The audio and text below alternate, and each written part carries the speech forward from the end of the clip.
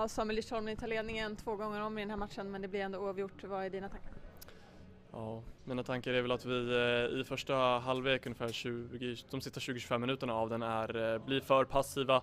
Jag vet inte om vi blir lite tagna av stundens allvar med tanke på att vi går ut och dominerar första 15-20 men vi kommer inte riktigt eh, Riktigt, vi får inte fast bollen någonstans egentligen och AIK kan trycka på ganska mycket. Jag tycker väl att båda AIKs mål är det är inte några superchanser egentligen är mål på om vi säger så. Eh, vilket jag tycker att vi kan, eh, vi måste bli bättre i de situationerna. Sen så gör vi mål väldigt sent och där måste vi ta med oss tre poäng. Gör vi mål 85 på bortaplan så, så måste vi ta med oss tre poäng oavsett vilka vi möter och speciellt i en sån här match. Men eh, nej, det är surt. Vad säger du om din frispark som leder till målet?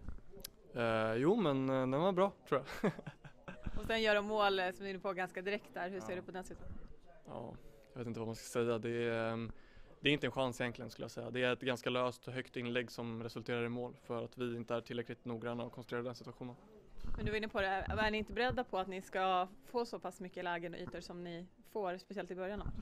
Jag vet inte, jag tycker att vi visar i stora delar av andra halvlek också att vi är ett väldigt skickligt fotbollslag. Det handlar mer om att jag tror att många i laget behöver tänka så om sig själva också. Att eh, de spelar allsvenskan för att de förtjänar att spela allsvenskan och de spelar mot AIK på Friends Arena för att de förtjänar att spela där. Och jag tror att när vi väl inser att vi kan driva förbi en, två spelare, väga förbi någon och sådär så, så vågar man göra det fler gånger och vi lyckades ganska mycket med det i början eh, och i början av andra också, vilket gör att vi får självförtroende och det tror jag var nödvändigt. Ni hade ju väldigt bra vår, lite tyngre period nu då. Vad är det som gör att det har blivit så? Ah, jag vet inte riktigt, det är svårt att säga. Jag tycker vi spelar bra i de flesta matcherna. Det är en tight match mot Värnamo där vi tyvärr eh, inte, bollen inte in, vi har några ramträffar och sådär.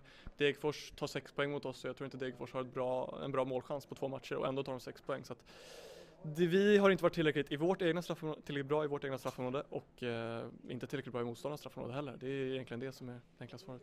Hur ser du på läget som ni är i tabellen just nu? Vi kollar uppåt.